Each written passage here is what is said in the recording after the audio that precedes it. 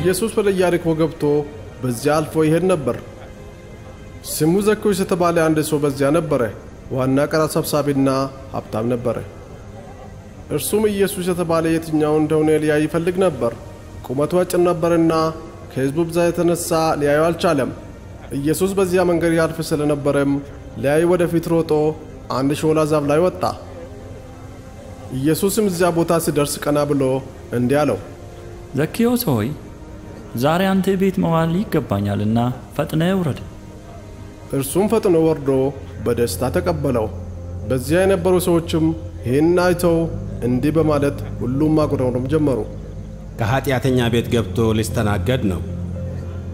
ዘኬዎስ ግን ቆመና ጌታን እንዲህ አለው፣ ጌታ ሆይ እነሆ ካለኝ ሀብት ሁሉ ግማሹን ለድሆች እሰጣለሁ።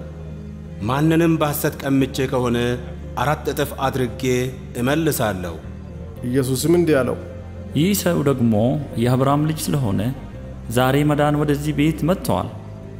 ምክንያቱም የሰው ልጅ የመጣው የጠፋውን ሊፈልግና ሊያድን ነው።